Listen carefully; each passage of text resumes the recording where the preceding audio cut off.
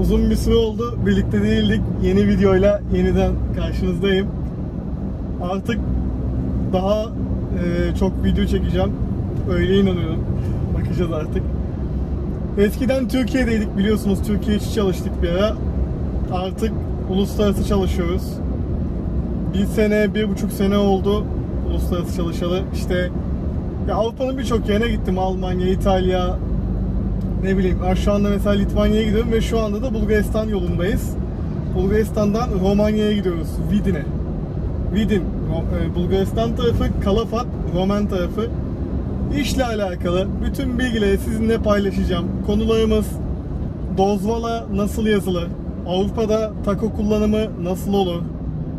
İşle alakalı bu sektörde kazançlar nedir? Bunları parça parça videolar halinde gelecek. Bugünkü konumuz da şu olsun. Bugünkü konumuz Avrupa çalışan bir tır şoförü aylık ortalama kazancı nedir? Genelde bunu herkes merak eder. Ben de bunu burada bugün sizlere açıklayacağım.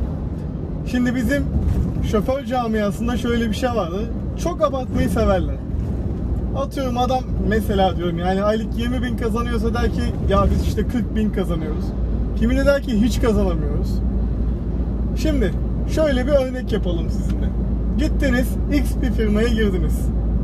Çalışacağınız bölge Almanya, İtalya, işte Hollanda bölgesi genelde işte Lüksemburg bu taraflara gidip gelirseniz her servis aldığınız ücret ortalamayı söylüyorum bakın.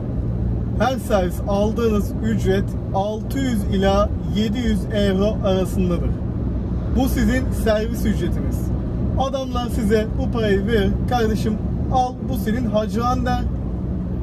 700 veya 600 euro arasında dediğim gibi. Bu- Bunların bir de artıları var. Artıları nedir? Bu yine tabii firmadan firmaya değişir. Der ki sana, kardeşim sana 6 tane adres attım. Örnek veriyorum. İlk iki adresi bana ait. Geri kalan 4 adresinin ücretini ben sana ödeyeceğim. 6 tane adres attım dediğim mesela Türkiye'den yüklendi araba 6 adrese boşalacak. 6 tane farklı farklı yere boşalacak. Adam diyor ki 2 adresi bana ait 4 adresi sana ait. Bakın yine söylüyorum bu bir örnek. Kimi birinci adresten sonra para yazmaya başlar. Kimi üçüncü adresten sonra yazmaya başlar. Kimi dörtten sonra bunun bir ortalaması yok açıkçası. 2'den örnek verelim. Çünkü genelde hep 2'dir ortalama. 2'den sonra kimi firma der ki 25 euro, kimi firma 20 euro, kimisi 15 euro para yazacağım der sana.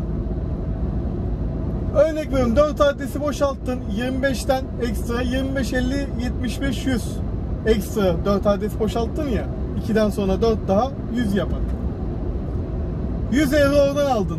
Farz edelim ki 650 euroya yola gittin. 100 de öyle aldın zaten 750 yaptı. Senin bir Almanya seferin ortalama 650 700 eurodur. Şimdi kaç gün sürer? Ona gelelim. Ortalama hızlı gidip gelirseniz yolda çok oyalanmazsan firman da seni gittiğin ülkede fazla yatırmazsa 16 gün, 20 gün, 17 gün bu şekilde bir servisi tamamlarsın. Gidersin, gelirsin, tekrar yükünü ya boşaltırsın ya da dosyayı kesersin. O da tabii firmadan firmaya değişiyor. 16 gün, 18 gün yani bu şekilde olur. Şimdi aylığa geldiğin ha şunu anlatayım bir de masrafın ne olacak senin? Senin masrafın şu. Ben kendimden örnek veriyorum. Ben yola çıkarken ortalama 1800-2000 TL'ye yakın bir masraf yapıyorum. Dolap masrafı bu. İşte nedir dolap? Peynir, zeytin, tavuk, et, tüp. Aklınıza ne geliyorsa bildiğin bir güzel bir dolap masrafı. iyi bir dolap masrafı bu. Artı telefon hattı alıyorum. Şimdi genelde Avrupa'ya çalışanlar telefon hatları şu şekildedir. Ya ay yıldız kullanırlar ya da İspanya hattı dediğimiz İspanya hattı var. Onu kullanırlar. İspanya hattı 40 euro 40 euro verdiğiniz zaman size 100 GB internet verir. 100 GB interneti de zaten 20 gün içinde mümkünatı yok bitiremezsiniz. Ay yıldız dediğimiz hatta o da 20-30 euro arasında bir şey. Fakat o e, interneti de tabii ona göre az. 30 GB mı öyle bir şeydi. Maksimum 30 GB olması lazım.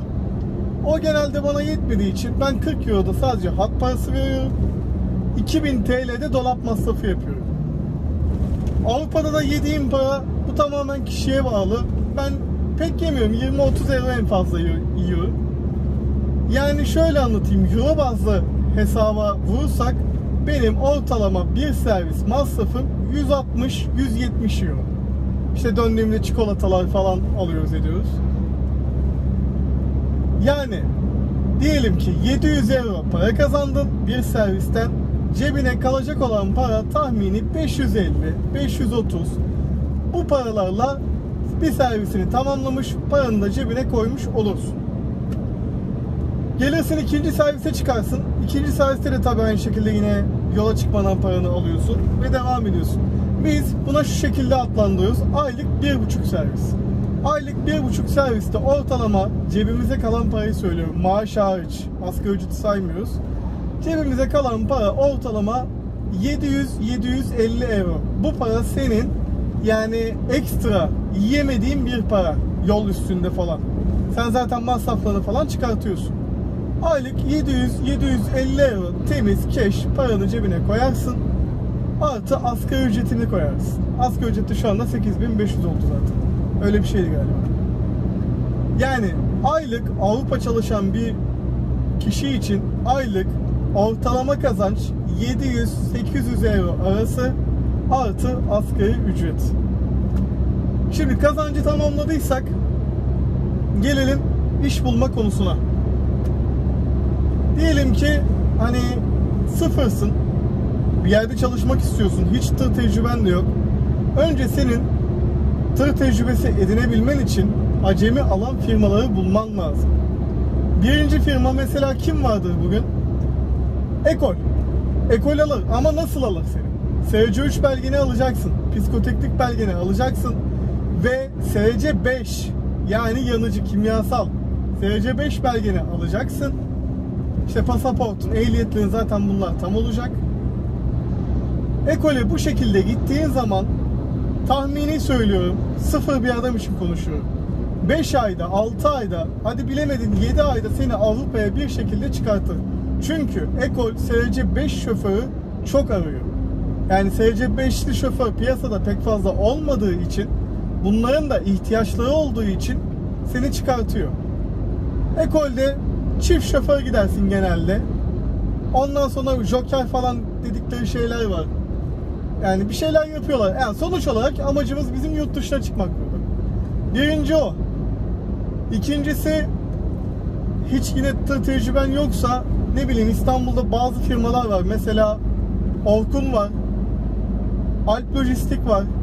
Bu firmalar bazı dönemlerde çok fazla şoför ihtiyaçları olduğu zaman acemi şoför alıyor yetiştiriyor.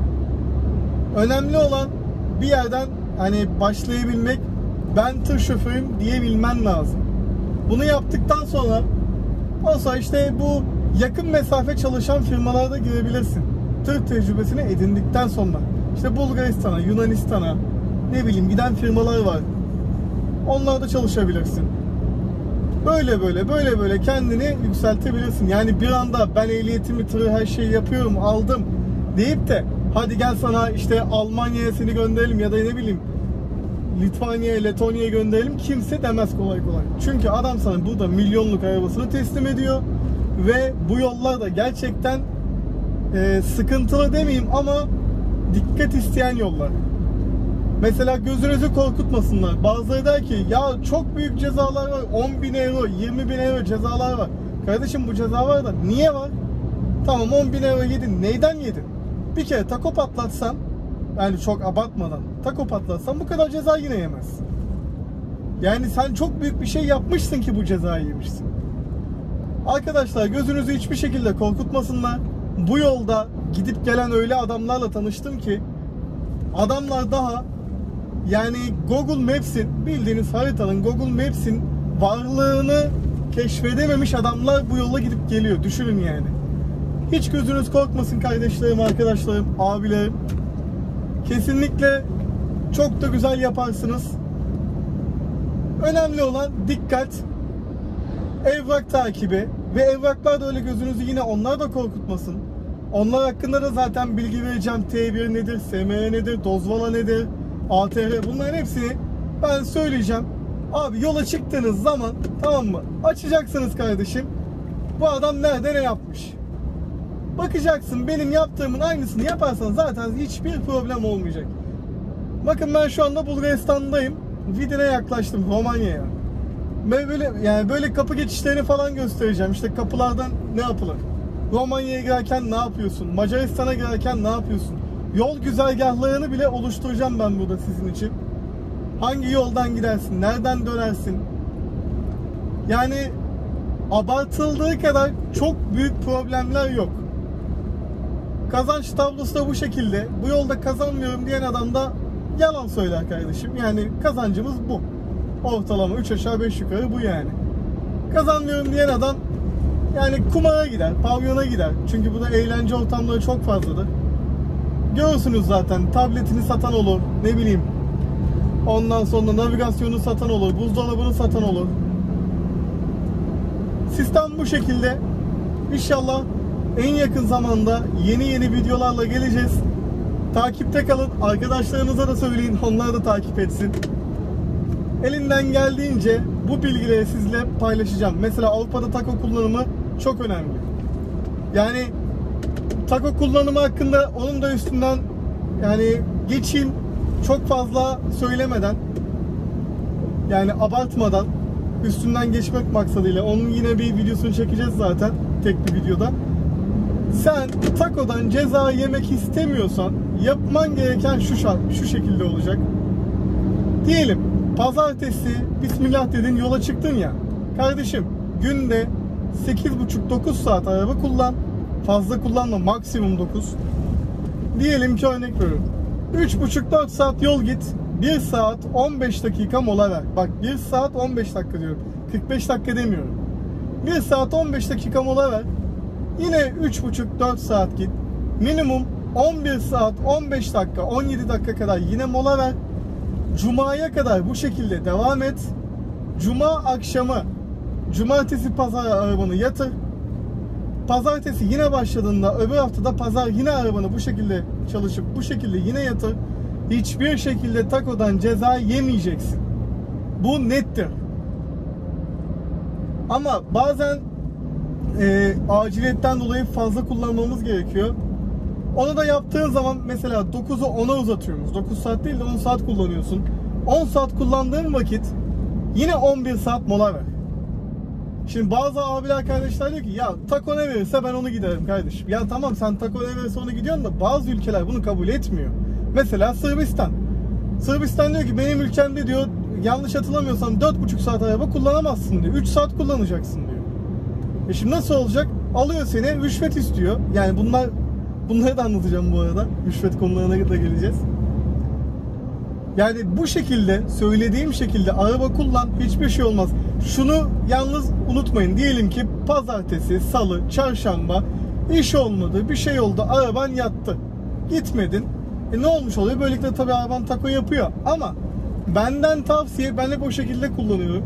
Diyelim pazartesi, salı, çarşamba yattım ya. Perşembe günü marş bastım diyelim ki. Ben kardeşim cumartesi akşamı arabamı yine yatırırım. Bu araba pazar günü yatacak. Çünkü ben hafta sonu takomu yapmazsam tako bana hafta içine verecek. Yani hafta içinde benim çalışma vaktim. Adrese gidiyorum, yük boşaltacağım, yük yükleyeceğim. E ne yapacağız? Perşembe olmuş, tako bitmiş. Ne yapalım şimdi? Yatalım. Yani benden tavsiye hafta içi araban yatmış olsa bile sen yine hafta sonu takonu yap güzel kardeşim. Abiler kardeşler e, sizlere dediğim gibi daha güzel bilgilerle vereceğim. Bu bir açılış videosuydu sadece. Açılış oldu kısa, özet. En güzel zamanda, en yakın zamanda çok güzel bilgilerle tekrardan karşınızdayız. Hoşçakalın. Allah'a emanet.